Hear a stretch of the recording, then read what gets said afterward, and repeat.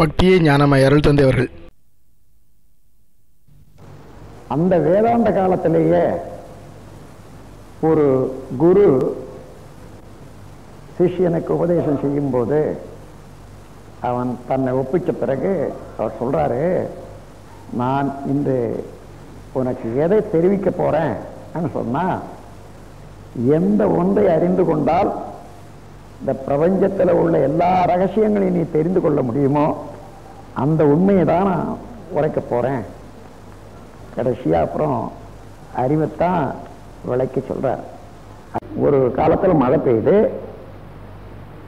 மேட்டில் இருந்து தண்ணி கீழே வருது. அப்புறம் கொஞ்சம் கொஞ்சமாக போய் காவாயாகிறது அப்புறம் கடைசியில் ஆறா போகுது சமுத்திரம் போகுது. காஞ்சி போச்சுன்னு வச்சுங்க. மீண்டும் மழை பெஞ்சா அந்த தண்ணி எப்படி போகும்? முன்ன எப்படி எப்படி ஓடித்தோ அதே போல ஓடும். அதே போலதான் நம்முடைய பதிவுகளும். எந்த விதத்தில் நாம் செயல்பட எண்ணத்தாலேயோ செயலாலேயோ ஒன்று செய்கிறோமோ அதே பதிவாகி தானாகவே உற்பத்தி ஆகக்கூடிய ஜீவகாந்த சக்தி அது வழியா ஓடும்போது அந்த எண்ணங்கள் அந்த செயலாகும் உண்டாகும்.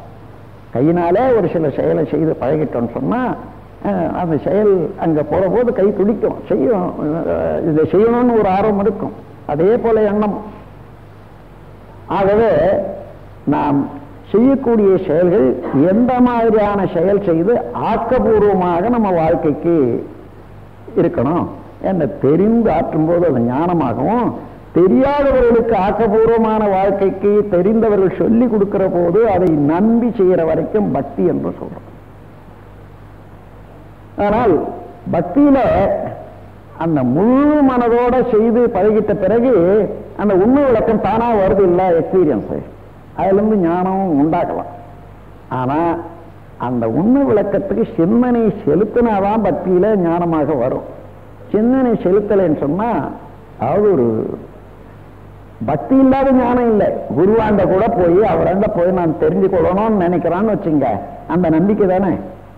அது பக்தி தானே இப்போ. அவர் சொல்றாரு சொல்றபடி செய்யறான் அது பக்தி தான். அதுக்கப்புறம் விளங்கி கொண்டு செய்யற போது ஞானமா மாறுது. எப்படி காய்தான் பதமாக மாறுகிறதோ அதே போல பக்தியில இருந்துதான் ஞானம் வரணும். பக்தி வேறு ஞானம் வேறு அல்ல. பக்தியே தான் ஞானமாக. காயே பதமாக மாறுவது போல பக்தியே தான் அதனுடைய முதிர்வு நிலையிலே ஞானமாக மாறுகிறது. வாழ்க வளமுடன்.